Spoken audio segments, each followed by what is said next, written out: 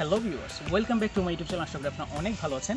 তো right now আমি এখন আছি সোনারগাঁওয়ে, পানাম সিটি নগরে বাট এখন আছি সোনারগাঁও জাদুঘরে এবং এখানে দেখতে পাচ্ছেন সুন্দর একটা রাস্তা। তো ভাবলাম যে এই সময় আপনাদের জন্য একটা ভিডিও টপিক নিয়ে আলোচনা করা যায়।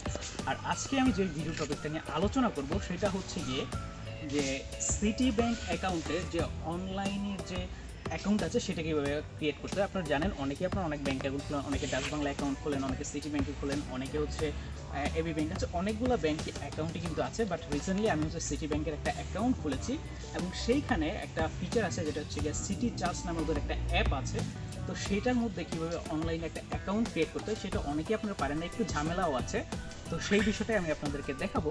তো চলুন বকবকানি বাদ দিয়ে চলে যাই আমাদের মূল ভিডিওতে এবং দেখে নেই যে কীভাবে এই সিটি ব্যাংক অ্যাকাউন্টে আমরা সিটি টাচ অ্যাকাউন্টটা খুলবো। চলুন আমাদের মোবাইল স্ক্রিনে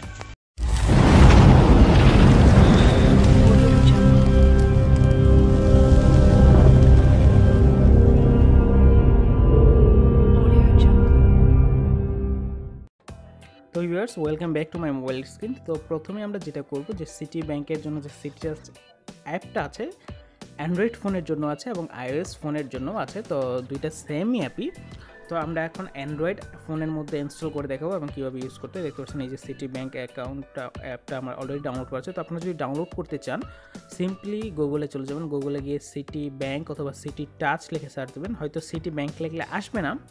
সেক্ষেত্রে আপনারা দেখতে পাচ্ছেন সিটি ব্যাংক লিখলে তিন নম্বরে আসছে বা সিটি টাচ লিখলে ডিরেক্ট এক নম্বরে আসে।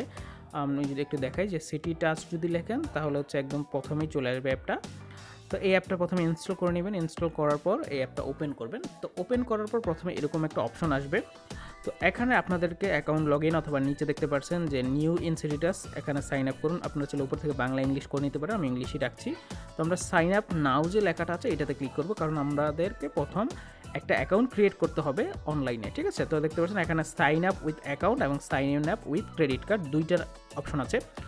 তো আপনাদের তো যখন অ্যাকাউন্ট খুলবেন, অবশ্যই ক্রেডিট কার্ড নেবেন। আর যদি ক্রেডিট কার্ড না থাকে, অবশ্যই যখন অ্যাকাউন্ট খুলবেন, আপনাদের একটা অ্যাকাউন্ট নাম্বার দিবে। তো সিম্পলি সেই অ্যাকাউন্ট নাম্বারটা এই যে অ্যাকাউন্ট নাম্বার বক্সে বসিয়ে দেবেন।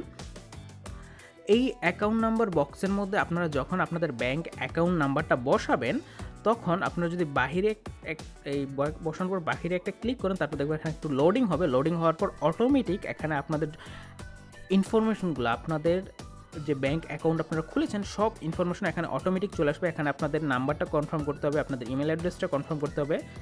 এরপর আপনাদের যে ডেবিট কার্ড যে দিবে ব্যাংক থেকে, সেই ডেবিট কার্ডটার এক্সপায়ারি ডেট এবং পিন নাম্বারটাও কনফার্ম করতে হবে। তো আমি এখান থেকে ডেবিট কার্ডটা সিলেক্ট করে নিলাম। আমার এম এক্স কার্ড যেটা আছে, সেটা সিলেক্ট করলাম এবং এখানে এক্সপায়ারি ডেটটা দিতে বলছে আমার ডেবিট কার্ডের তো এখান থেকে সিম্পলি আমি এই ক্যালেন্ডারে এখানে একটা ভিউ চলে আসছে। তো এখান থেকে আমি আমার এক্সপায়ারি ডেটটা দিয়ে দিলাম। তারপর ডান বাটন ক্লিক করব। এখন আমার ডেবিট কার্ডের পিন নাম্বারটা জানতে চাইছি। তো আমি এখানে সিম্পলি আমার ডেবিট কার্ডের পিন নাম্বার যেটা আমি অ্যাক্টিভ করেছিলাম অনলাইনে ফোন করে, সেটা আমি দিয়ে দিলাম। তারপর এখানে ইউজার আইডি আমার অটোমেটিক চলে আসছে। তারপর আমি আই হ্যাভ রিডে দিলাম এবং ওটিপি টাইপ আমি এস এম এস দিয়ে আমি নেক্সট বাটনে ক্লিক করব। বাট একটা জিনিস দেখেন, আমাকে কিন্তু ফোন নাম্বার এবং ইমেল নাম্বার কনফার্ম করতে হবে, যেটা আমি করিনি।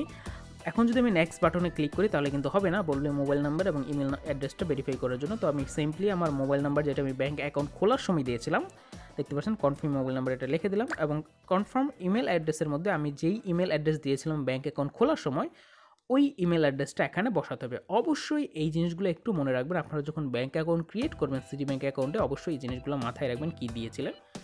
এখন যদি আমি নেক্সট বাটনে ক্লিক করি, তাহলে এখানে একটা লোডিং হবে। লোডিং হওয়ার পর দেখতে পারবেন, পরবর্তী স্ক্রিনে আমার চলে যাবে। পরবর্তী স্ক্রিনে যাওয়ার পর এখানে একটা ইন্টার ওটিপি একটা অপশন আসবে ওটিপি দেওয়ার জন্য এবং উপরে হচ্ছে আমাদের একটু আমাদের অ্যাকাউন্টের ডিটেলস আসবে। তো ওটিপিটা কিছুক্ষণের মধ্যে আমাদের চলে আসবে। তো ওটিপিতে দেখে দেখে বসিয়ে দেবেন। বসানোর পর নেক্সট বাটনে ক্লিক করবেন।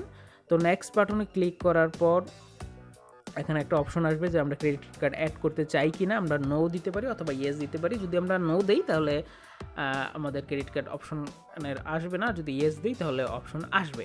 তো এখানে আমাদের নো দিয়ে দিলাম। তো এখানে আমাদের বলল যে লগ ইন উইথ সিটিটাস আমাদের অ্যাকাউন্টটা ক্রিয়েট করা হয়ে গেছে। তো আমাদেরকে এখন লগ ইন করতে হবে।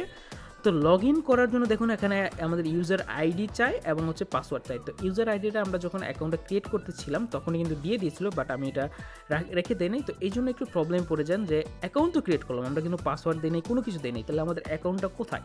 তো আমি যদি আবার অ্যাকাউন্ট ক্রিয়েট করতে চাই, তাহলে এখানে বলবে আমি অলরেডি অ্যাকাউন্ট খুলে ফেলেছি। বাট এখানে কিন্তু আমার কোনো অ্যাকাউন্ট ডিটেলস নেই। অ্যাকচুয়ালি অ্যাকাউন্ট ডিটেলস কিন্তু আছে, যেটা আমাকে পাঠানো হয়েছে আমার ইমেলের মধ্যে। তো আপনারা যেই ব্যাঙ্ক অ্যাকাউন্ট বা ব্যাঙ্ক ডিটেলস দিয়ে অ্যাকাউন্টটা খুলবেন, সেই ইমেল অ্যাকাউন্টটা ওপেন করে নেবেন।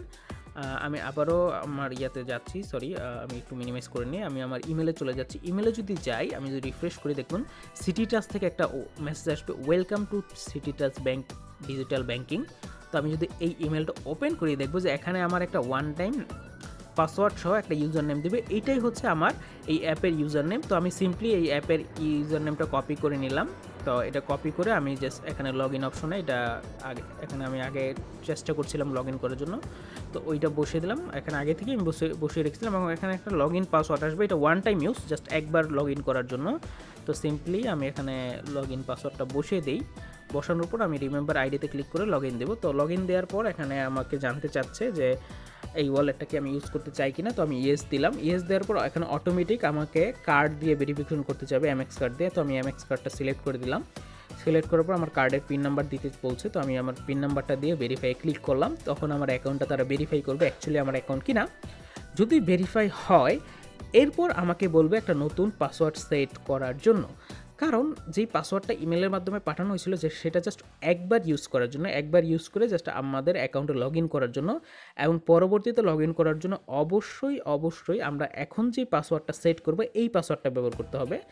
তো পাসওয়ার্ডের ক্ষেত্রে একটু জিনিস লক্ষ্য রাখতে হবে পাসওয়ার্ডের মধ্যে অবশ্যই একটা বড় হাতের ওয়ার্ড থাকতে হবে, একটা ছোট হাতের ওয়ার্ড থাকতে হবে এবং যে কোনো একটা সংখ্যা থাকতে হবে। কোনো স্পেশাল ক্যারেক্টার কার্যকর না, আমি একটা স্পেশাল ক্যারেক্টার হ্যাশ দিয়েছিলাম, যার জন্য এটা হচ্ছে না। তো আমি সিম্পলি কী করব? সেই স্পেশাল ক্যারেক্টারটা কেটে দিব। এবং স্পেশাল ক্যারেক্টারটা কেটে আমি নতুন করে পাসওয়ার্ড বসিয়ে দিব। তো আমি এই জিনিসগুলো হাইড করে রেখেছি যাতে করে আমার পাসওয়ার্ডটা কেউ দেখে না ফেলে, ঠিক আছে? তো আমি হচ্ছে আবারও হচ্ছে পাসওয়ার্ডটা দিলাম। দেওয়ার পর আমি এখন হচ্ছে গিয়ে নেক্সট বাটনে ক্লিক করব। আপনাদের পাসওয়ার্ড দেওয়া হয়ে গেলে নেক্সট বাটনে ক্লিক করবেন। ক্লিক করার পর দেখবেন অটোমেটিক আবার বের হয়ে যাবে। তো এখান থেকে আপনারা আবার ইউজার আইডিটা নেবেন। তো ইউজার আইডিটা মুখস্থ করে রাখতে পারেন অথবা আপনার ইমেল থেকেও নিতে পারেন। কারণ ইউজার আইডি সবসময় সেম থাকবে। বাট পাসওয়ার্ডটা আপনি যেহেতু চেঞ্জ করেছেন, তো সিম্পলি যেই পাসওয়ার্ডটা আপনারা দিয়েছেন চেঞ্জ করে সেই পাসওয়ার্ডটা এখানে দিবেন। দেওয়ার পর রিমেম্বার আইডি দিবেন, যাতে করে পরবর্তীতে আর পাসওয়ার্ড না চায় এবং ইএস দিবেন। ইএস দেওয়ার সাথে সাথে এখানে লগ ইন হবে। এবং এখানে কিছু টার্মস অ্যান্ড কন্ডিশন আসবে। তো আপনারা সিম্পলি স্ক্রল করে এই টার্মস অ্যান্ড কন্ডিশনটা পড়ে নিতে পারেন অথবা ডিরেক্ট অ্যাকসেপ্ট বাটন ক্লিক করতে পারেন।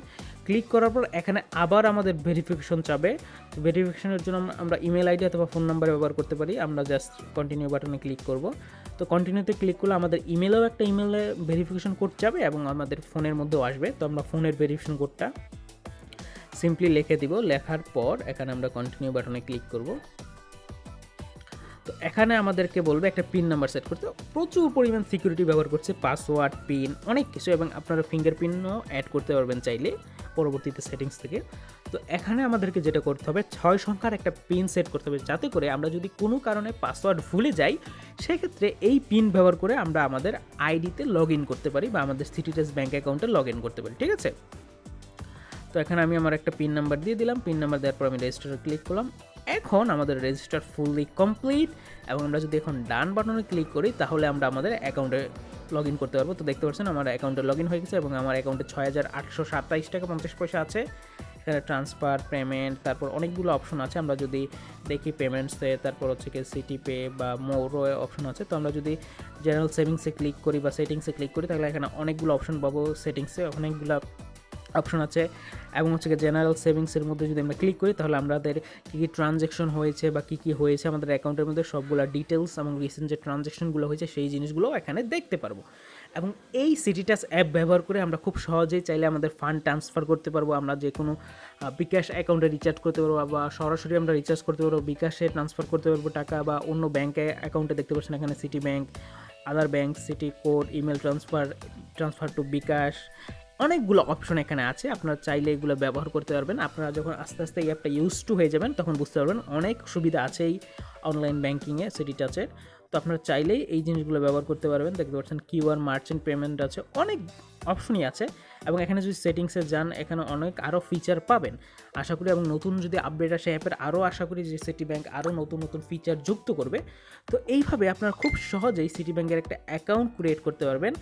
এবং আপনারা যদি চান যে আরও এই অ্যাপটা সম্পর্কে জানতে চান, কীভাবে সিটি ব্যাংক থেকে অন্য ব্যাংকে ট্রান্সফার করতে হয় সিটি ব্যাংক থেকে সিটি ব্যাংকে ট্রান্সফার করতে হয়, কীভাবে বিকাশে টাকা ট্রান্সফার করতে হয়, এই বিষয়গুলো নিয়ে যদি বিস্তারিত জানতে চান, তাহলে অবশ্যই কমেন্টে জানাবেন। ঠিক আছে? এবং কীভাবে একজন বেনিফিশিয়ারি নাম্বার অ্যাড করবেন, সেটাও আমি পরবর্তী ভিডিওতে আশা করি দেখাবো। যদি আপনারা চান, এই ভিডিওতে আর দেখাচ্ছি না, কারণ ভিডিওটা অলরেডি অনেক লং হয়েছে। ভিডিওটা ভালো লাগলে অবশ্যই লাইক দিবেন, বন্ধুদের সাথে শেয়ার করবেন, আর হ্যাঁ অবশ্যই অবশ্যই সাবস্ক্রাইব করবেন। তো প্রিভিয়াস ভিডিও দেখতে পারেন এখান থেকে অথবা অন্য যে কোনো একটা ভিডিও দেখতে পারেন। আর সাবস্ক্রাইব করে না থাকলে do subscribe and hit the bell icon সবাই ভালো থাকবেন। Tata bye bye